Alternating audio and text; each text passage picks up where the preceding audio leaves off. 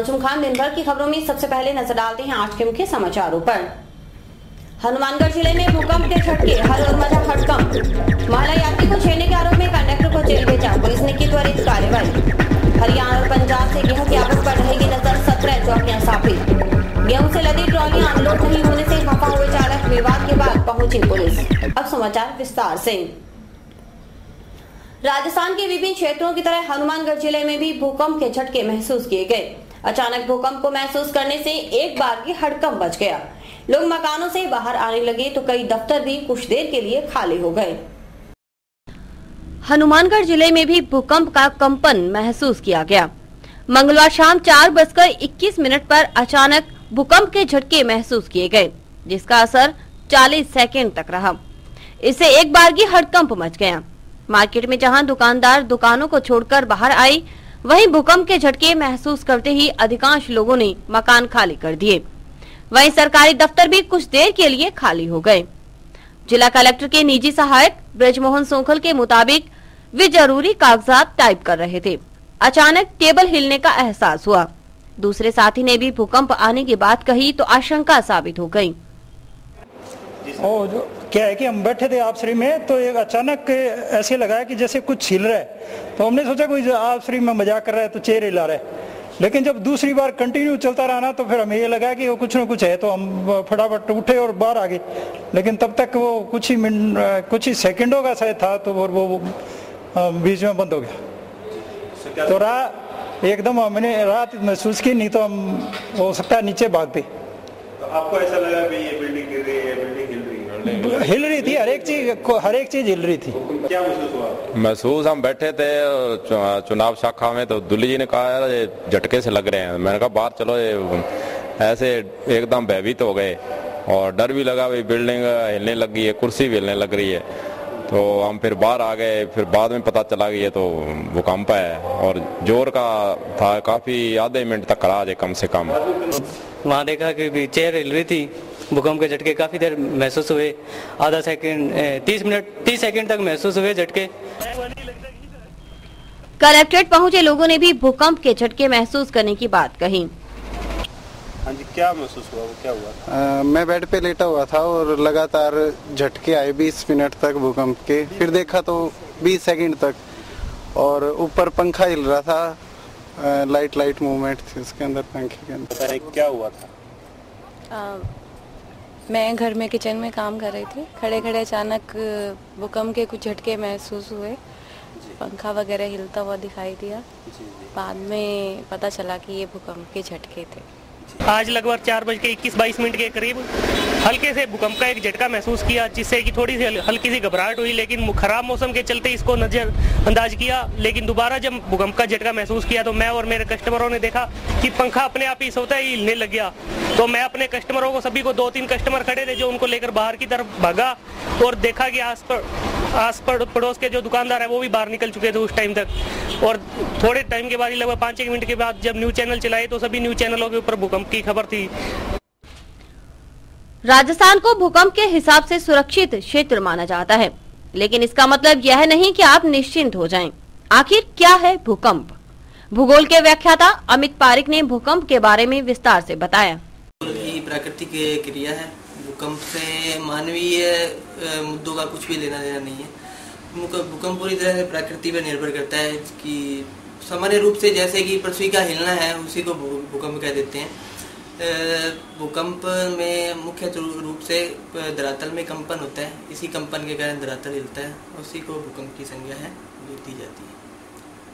हनुमानगढ़ की क्या स्थिति है भूकंप के हिसाब से भूकंप के हिसाब से देखा जाए तो वैसे भारत में मुख्य रूप से जो हिमालय का उत्तरी भाग है जहाँ पे हिमालय पर्वत श्रृंखला है वही संवेदनशील है काफ़ी ज़्यादा। वहीं पे भूकंप के झटके अनुभव किए जा सकते हैं, लेकिन कि केवल इसको इसी रूप से देखा जाए कि वहीं पे भूकंप आएगा तो ऐसा बिल्कुल नहीं है। नवीन जो शोध हुए हैं उनके अनुसार सीधे रूप से कहा जा सकता है कि भूकंप है, वो कहीं भी आ सकता है, क्योंकि ये प्राकृतिक क्रिया है। भूगर्भ के अंदर कहीं भी हलचल हुई, उस हलचल के फलस्वरूप क्या चट्टाने हैं, वो अपने स्थान से खिसकी, उस संतुलन में कहीं भी परिवर्तन आया तो वहाँ भूकंप आ सकता है। जैसे एक गुजरात में 2001 में भूकंप आया था तो गुजरात उस स्थिति से बिल्कुल भी नहीं था कि महिला यात्री को बस में छेड़ना कंडक्टर भजनाराम को भारी पड़ गया। पुलिस ने उसे गिरफ़्तार कर मंगलवार को कोर्ट में पेश किया, जहाँ न्यायालय ने उसे न्यायिक हिरासत में भेजने के आदेश दिए। न्यायालय ने महिला के साथ छेड़छाड़ करने के आरोप में रोडवेज़ के परिचालक भजनाराम को जेल भेज दिया। महिला पुलिस ने सोमवार को गिरफ़्तार कर उसे मंगलवार को कोर्ट में पेश किया था। महिला थाना इंचार्ज निर्मला बिश्नोई ने कहा कि पुलिस ऐसे मामलों के प्रति पूरी तरह गंभीर है। कल एक महिला के साथ में यहाँ बस में कंडक्टर भजनाराम ने छेड़छाड़ की थी।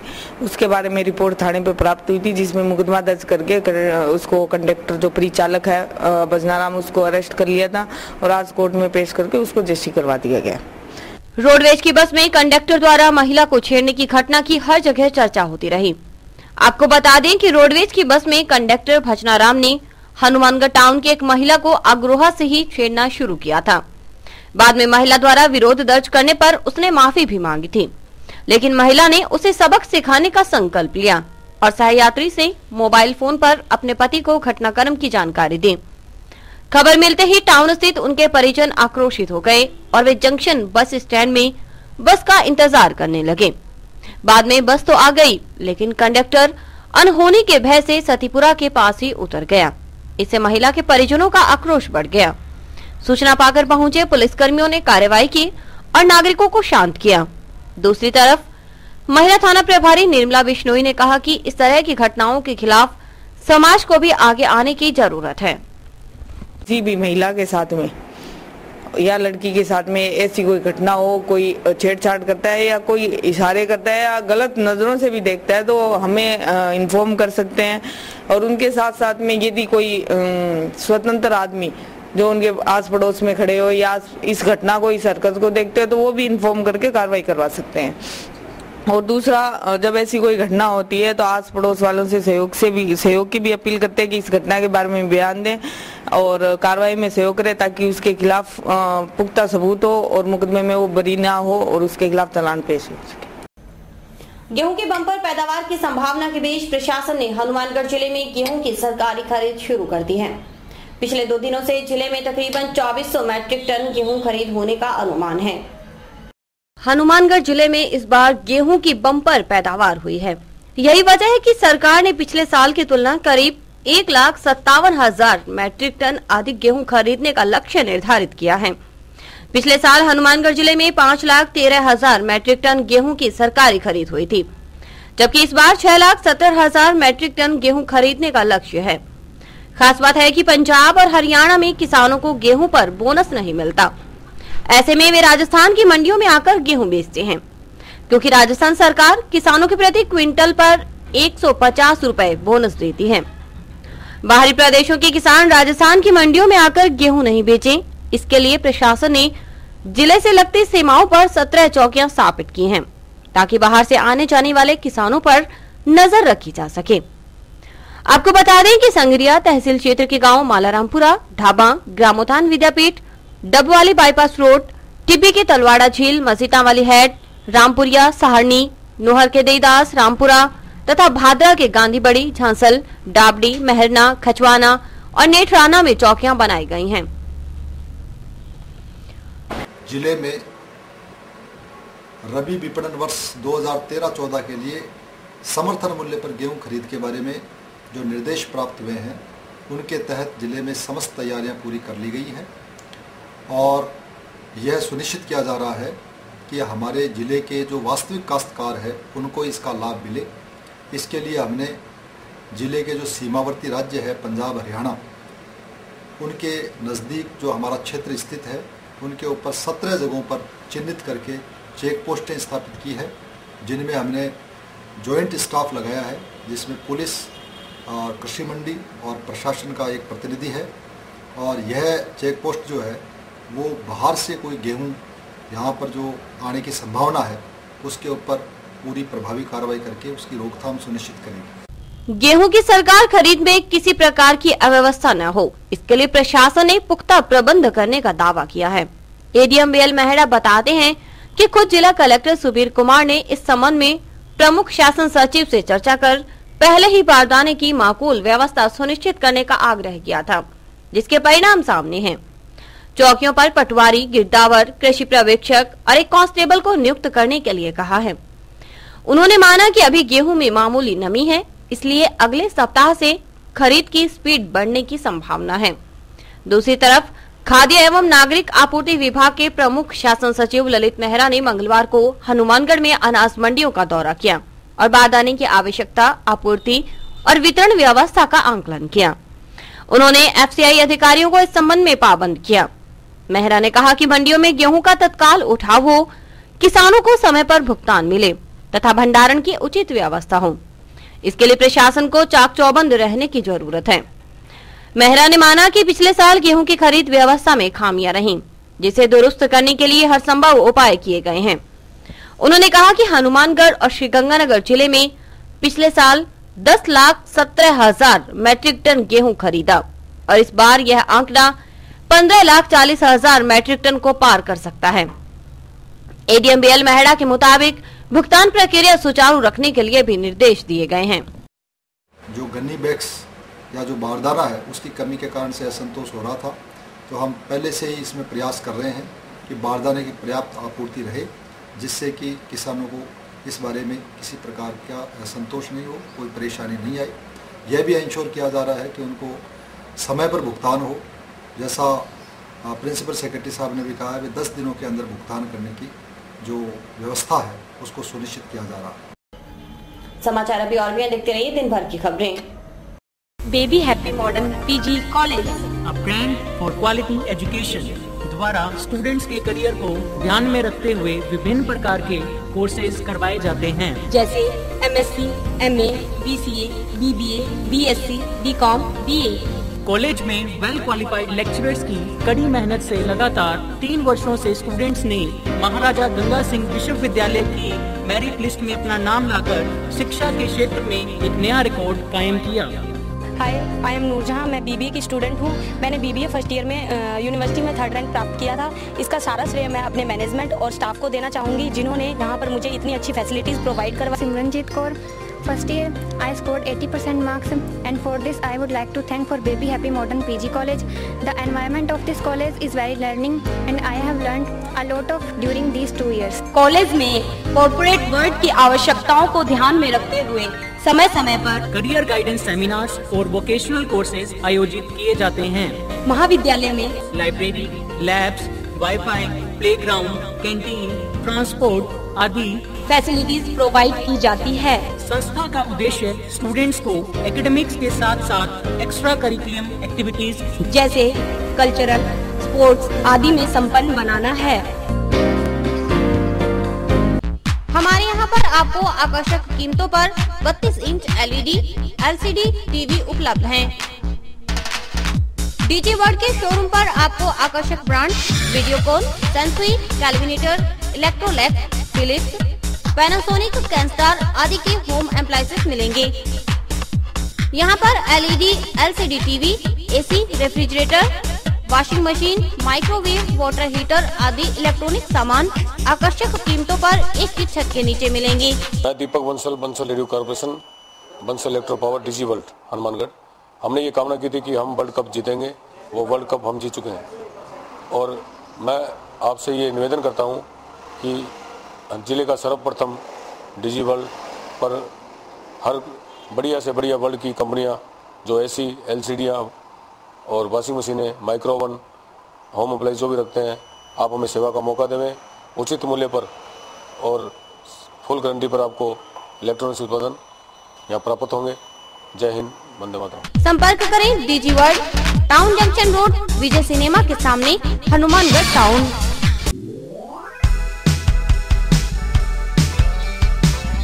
मीट कलेक्शन एक complete gents wear showroom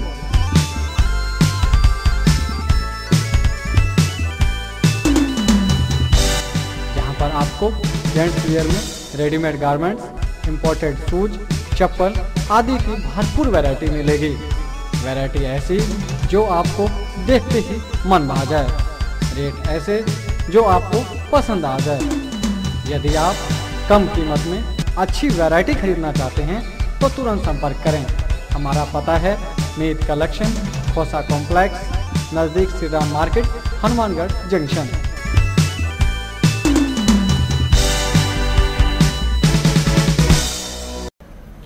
Rajasthan nurses association जिला कार्यकारिणी की बैठक राजकीय चिकित्सालय में आयोजित हुई। बैठक की अध्यक्षता नर्सेज एसोसिएशन के जिला अध्यक्ष गुंगरनाम सहारण ने की।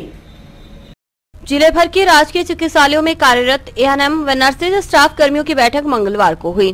बैठक में उपस्थित महिला नर्सेज कर्मियों ने जिलाध्यक्ष गुगन राम सहारण पर राजस्थान नर्सेज एसोसिएशन सदस्यों की समस्याओं को नजरअंदाज करने का आरोप लगाया। पीलीबंगा ब्लॉक से आई महिला कर्मियों ने कहा कि चुनाव जीतने के बाद आज तक पीलीबंगा ब्लॉक में आयोजित किसी भी बैठक में जिलाध्यक्ष उपस्थित नहीं हुए। जबकि चुनावों में उन्होंने वादा किया था कि वे नर्सेस कर्मियों की सभी समस्याओं के समाधान के लिए कार्य करते रहेंगे। आपको एक बात बता देना चाहती हूँ। आप जिस दिन जीते, उस दिन आपने ये कहा कि आपकी कोई मीटिंग ब्लॉक की या किसी की। मैं ब्लॉक मीटिंग में जाऊँगा। बड़े दुख से कहना पड़ा कि हमारे में आज तक बैठक में जिलाध्यक्ष गुगन राम ने कहा कि नर्सेस कर्मियों की समस्याओं को हल करवाने के लिए वह हमेशा संघर्षरत रहेंगे। इसी क्रम में आज जिला कलेक्टर को मुख्यमंत्री के नाम ज्ञापन देकर नर्सेस कर्मियों को केंद्र के समान वेतन भत्ते दिए जाने की मांग की गई तो नर्सिंग संवर्ग में आक्रोश है सरकार के प्रति, उसको सावचेत करते हुए भविष्य में हमें आंदोलन की जो रणनीति है, वो तैयार की है। और माननीय हमारे जो प्रदेश का नेतृत्व है उनको भी हम ज्ञापन भेजेंगे जिसमें ये मांग रखेंगे कि हमारे उन दो, दोनों संवर्गों को केंद्र के समान वेतन और भत्ते दिलाए जाएँ। ज़िले में गेहूँ की बम्पर पैदावार के साथ ही विवादों की शुरुआत हो गई। गेहूँ से लदी ट्रैक्टर ट्रॉलियाँ अनलोड नहीं होने पर चालकों ने नाराज़गी जताई और संग्रिया रोड स्थित एक वेयर हाउस पर खूब हंगामा किया। सूचना पाकर पहुँची पुलिस ने उन्हें शांत किया। यह है संग्रिया रोड स्थित एक निजी वेयर हाउस यहाँ पर सोमवार सुबह से ही दर्जनों ट्रैक्टर ट्रॉलियाँ खड़ी हैं। चालकों का आरोप है कि वेयर हाउस का मुनीम नंबर सिस्टम से अनलोड नहीं करवा रहा। वह भ्रष्टाचार का खेल कर रहा है। इसके तहत जो रिश्वत देता है, उसकी गाड़ी पहले खाली करवाई जा रही है, जबकि नियमानुसार खाली करवाने वालों के साथ भेदभाव हो रहा है। ये कमीशन बांटते हैं जी। दो सौ रुपया ट्रालियाँ लेते हैं, खाली होएगी तो दूसरी ड्राइवर की खाली नहीं होएगी। हाँ बाकी और यहाँ पे ये, ये दादागिरी ये मुनीम करता है ये जो अंदर रहता है। रोब जगाता है। कहता है मैं खाली नहीं करवा मेरी मर्ज़ी से करवाऊँगा मेरे जो कुछ करना मेरा कर लो आप। हम खाली नहीं करवाएँगे। हाँ। पच्चीस रुपये टन डाला माँगता है ये। हर एक ड्राइवर से वहाँ को, कोई नहीं देगा यहाँ। किलोमीटर यहाँ चाय पीने जाते हैं। किलोमीटर यहाँ चल के आते हैं। ना चाय पीने का इंतज़ाम ना पानी का इंतज़ाम इनके पास। कल कल सुबह छह बजे साहब हम खड़े हैं यहाँ पे। खाली सारा दिन क्या सारी रात गई। खाली नहीं करवाता ये। हाँ खाना आप सुबह का नहीं खाया है, ना रात का खाया है। भूखे बने। रोटी नहीं खाई, चाय नहीं पी। सारा दिन करा खाने खाली कराऊं, खाऊं, पिछली ट्राली खाली होगी। उसके पैसा लगा था। मैंने कल देखा था, बियर पी रहा था। कल पी रहे थे, वहाँ ढक्कन पड़ा है। मैं आख्या यार, तू खाली करा रहे हो ना? मेरी मर्ज़ी कराऊँगा ना तू जा, नहीं कराऊँगा। विवाद की खबर पाकर मौके पर पहुँचे एएसआई लेखराम पहले तो मामला ही नहीं समझ पाए। बाद में माकपा नेता नसीब खान ने उन्हें तरीके से विवाद का कारण समझाया। हमारे वाले बीच से यह टाली हटा दिया छोड़ दिया यह टाली ले आगे जिसका नंबर था उसको नहीं करके पीछे वाले को पहले ले लिया। हाँ, यह करता है यह मुनीम आरोप है कि वहाँ पर मजदूरों ट्रॉली चालकों और मुनीम के बीच हाथापाई हो गई। लेकिन मुनीम ने इस तरह की बातों से इनकार किया। जो ट्रक आया हुआ है वो खड़ी है यहाँ। और ट्राली जो कल आया वो खाली हो गया। ट्रक वाले का सुबह जब नंबर लगाने आए तो ड्राइवर आया और हथाबाही करने लगा अंदर आके। क्यों? हाथाबाही क्यों मैं बोला कि एक ट्रक एक पॉइंट देता है ट्रक पे एक देता है टाली पे। कहता है नहीं दोनों पॉइंट मेरे चाहिए। मारपीट करने। कल सुबह से हम खड़े यहाँ पे हमारे खाली। ट्रक परसों शाम का आया हुआ है कल सुबह कांटा होके अंदर आई है। कल से खड़े हैं उसमें हमारी गलती नहीं है सर। कल से खड़े हैं हमारे पास जितनी लेबर की सुविधा है अवेलेबल है लेबर उतनी हमने क्लाइंट को बोल रखा है। उन्होंने कल बीस ट्रालियाँ भेज दी। अगर बीस बीस हमारे पास दस पार्टियाँ माल लगाने वाली अगर सारी बीस बीस ट्रालियाँ भेजेगी तो हमारे पास इतनी व्यवस्था नहीं है खाली करवाने की। मैंने इस इन पार्टियों को बोला था पाँच से आठ ट्राली भेजना। और उन्होंने बीस टालियाँ भेज दी, उसमें मेरी गलती थोड़ी है। वो तो इनका मेरे से कोई लेना देना नहीं, अगर इनको दिक्कत है तो जिन्होंने थालियाँ कटवाई है, उनसे बात करें ये। और अभी वक्त है लंच का।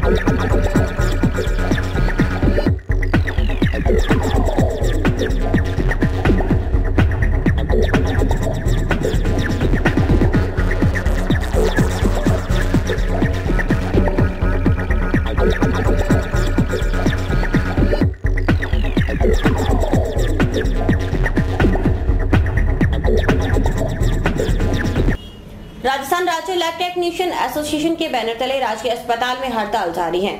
लैब टेक्नीशियनों की हड़ताल के कारण मरीजों को परेशानी होने लगी है। गाँव से चलकर इलाज करवाने पहुँचा मिठू राम दो दिन से जिला अस्पताल का चक्कर काट रहा है।